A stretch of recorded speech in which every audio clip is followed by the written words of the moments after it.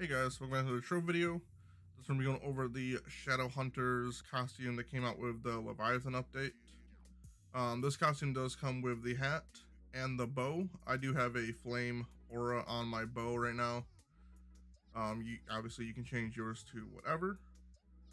Um, this, I mean, it's a pretty cool costume. I do like other costumes more. Um, it has like a half dragon kind of hat look to it.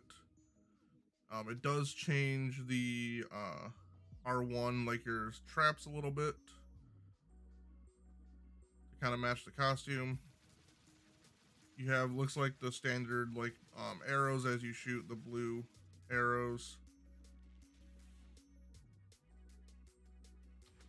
Nothing really special about anything else from what I can see.